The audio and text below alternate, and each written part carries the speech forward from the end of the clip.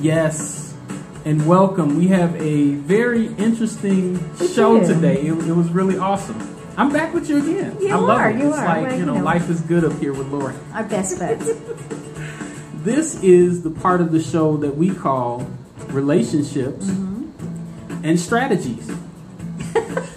yes, the two do go together. Yes, they do. Very well. And what we were talking about, we just want to piggyback on what Louis was talking about as far as just saying no. Yeah. What, what's your thought on that, Lorrie? Because I know you oh. have a different perspective. I well, I don't know that I have. Yeah, well, I am different in my thought process. Um, it's something that we've actually been talking about for a long time um, with the meetup group that we were at previously, um, where we talked about how it's so easy to say, "Oh yeah, I'll be there.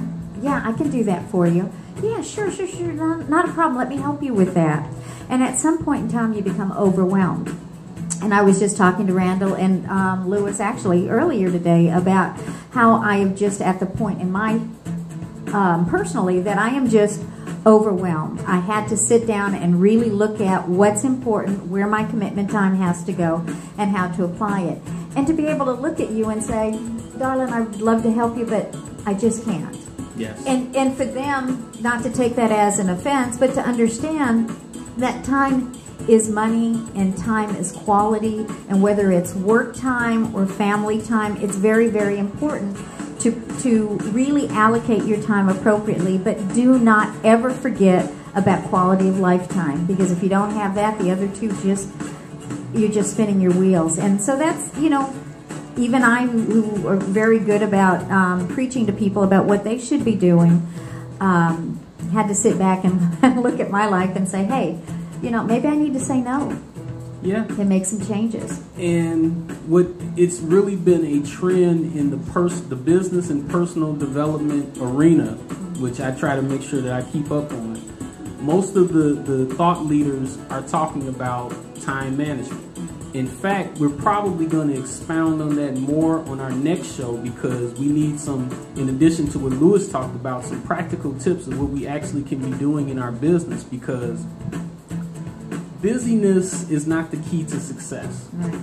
And one of the things that I, I always talk about in saying no is sometimes you have to say no to time wasters.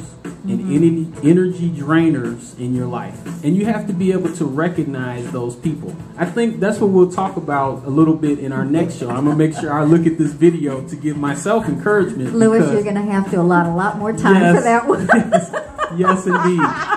Because what happens is there's a, a, a, core group of us who support each other in our businesses and, and we, we want to help and spread the word of encouragement to business owners. But the bottom line is all of us need to have a successful business. What are some of the things that can help us with the successful business? Well, I venture to say that if we do a simple math problem, let's say that we have 10 things going on in our day, and when you really look at them, like Louis talked about, right. half of those might be things that you really don't want to do. And I run into, with my clients, when I talk to them about what they do, uh, usually half of that stuff is busy work that they yeah. consider to be work that's producing income, but it really isn't. Delegation so, is hard for people, isn't it? Well, because like Louis talked about, right. We're we're built with this this sense of well, okay, yeah, I'll see what I can do. Um. You know, I'll I'll email you. I'll I'll see if I can talk about that.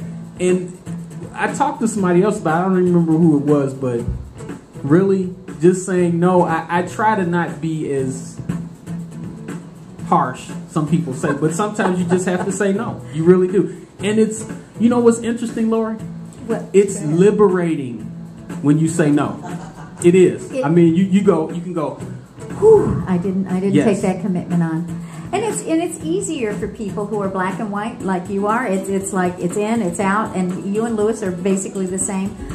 For some of us ladies, it's a little harder because you know we have a tendency to want to coddle and, and help people along. But it's okay. You're still a hot mama if you can say no. It's it's all right. Yeah, yeah.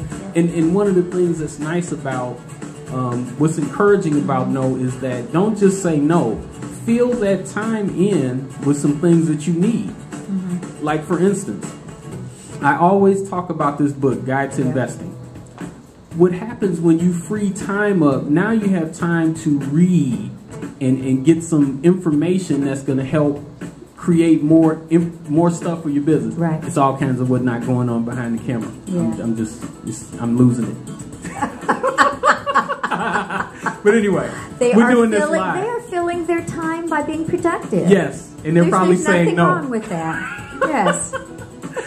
but at this point, what we're going to do is stop right here Okay. because we're going to get into our announcements portion. Right. But we want to thank everybody for tuning in to It's a Great Day for, For Business Atlanta.